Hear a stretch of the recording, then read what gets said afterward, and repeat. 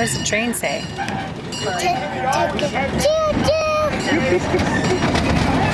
think That like a woman mannequin that put a beard on. Yeah.